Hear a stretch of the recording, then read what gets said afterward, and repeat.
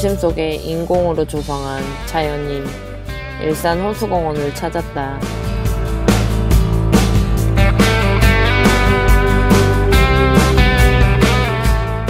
갖가지 조형물들이 예술이라는 이름으로 잘 포장되고 정비되어 있는 대표적인 인공 호수공원이다.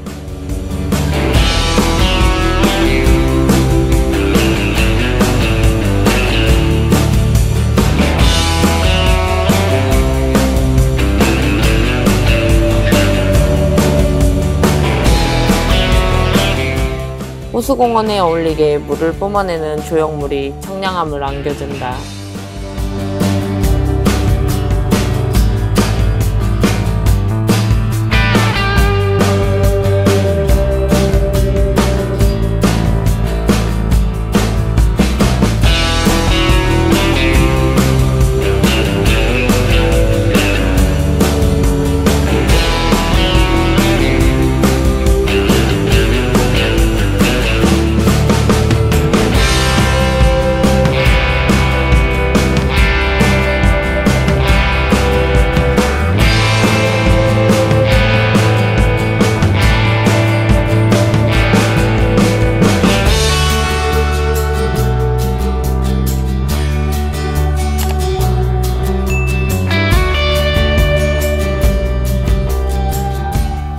시민들이 참여하여 만들었다는 고향 창작 문화공간은 아이들의 작품인 듯한 그림들을 모아서 주변과 잘 어우러져 아름답게 전시하고 있다.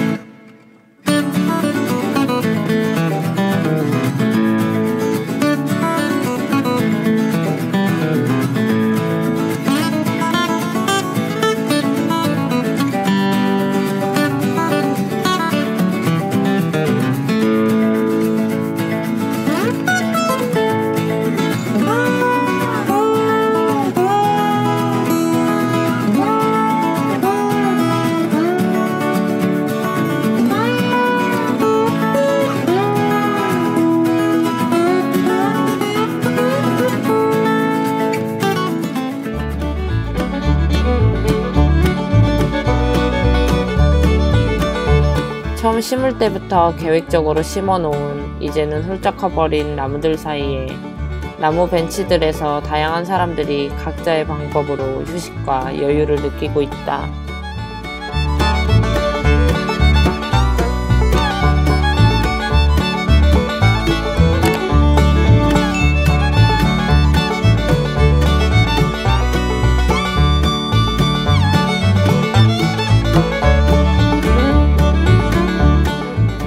시원하게 뿜어 올라가는 호수 중앙의 분수가 더운 날 답답했던 나의 마음에 시원한 청량감을 선물해주고 있다.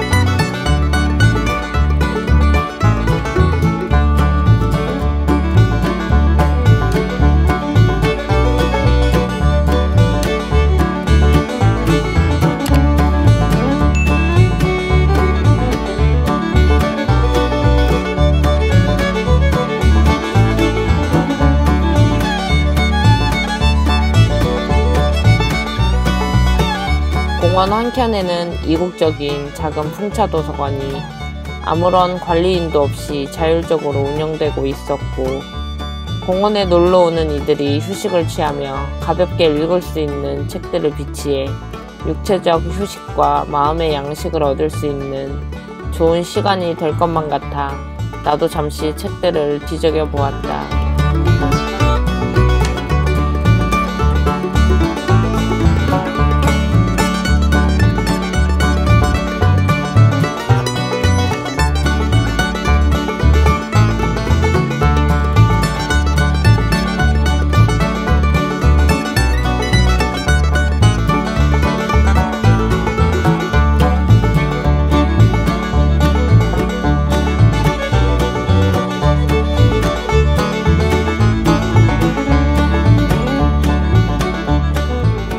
기타 소리가 나는 쪽으로 시선을 돌려보니 무명 가수 한 분이 몇몇의 시민들을 대상으로 여유로운 시간을 만들어주고 있었다.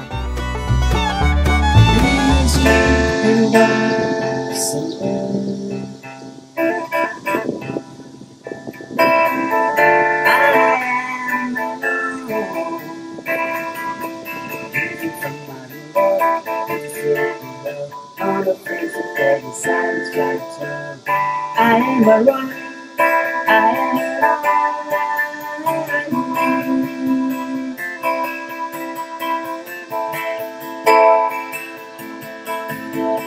wars.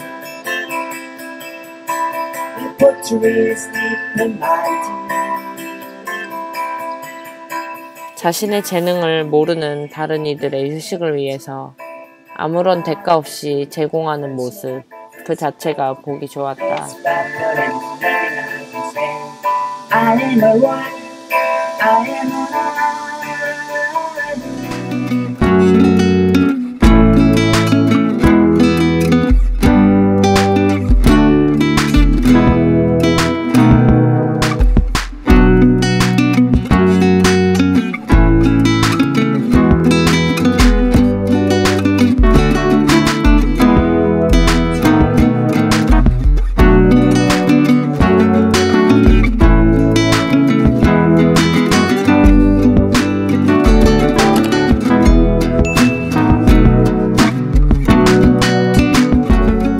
호수 앞쪽으로 나 있는 작은 산책로를 따라 걷다 보면 언제든 쉬어가라고 기다리고 있는 벤치들이 조용히 자리를 지키고 있었다.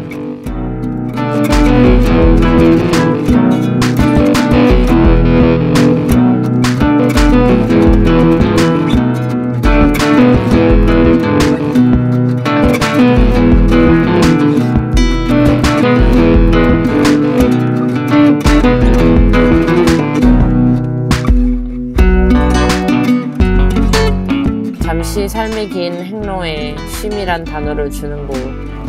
빠르게 빠르게 치열하게 뛰고 있는 우리들에게 느리게 산책할 수 있는 공간이 있다는 것은 행운이 아닐까라는 생각을 하면서 물끄러미 호수를 응시해 본다.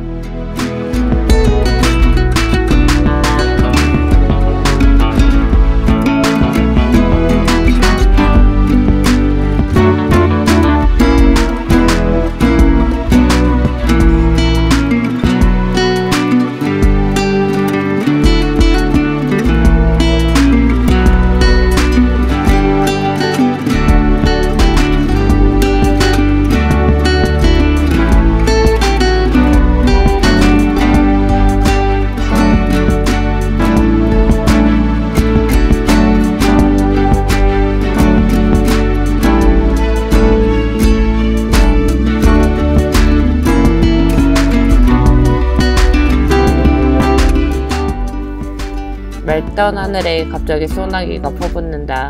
아주 시원하게. 그 자리에서 난 온몸으로 소나기를 맞는다.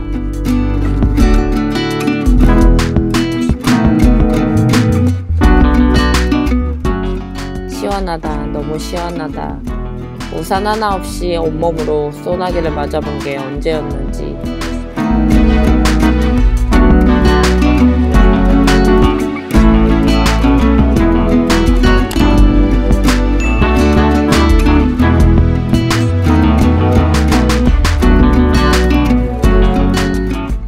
바쁘게 살아오던 지친 육체와 정신을 시원하게 씻어주는 듯한 시원한 소나기다.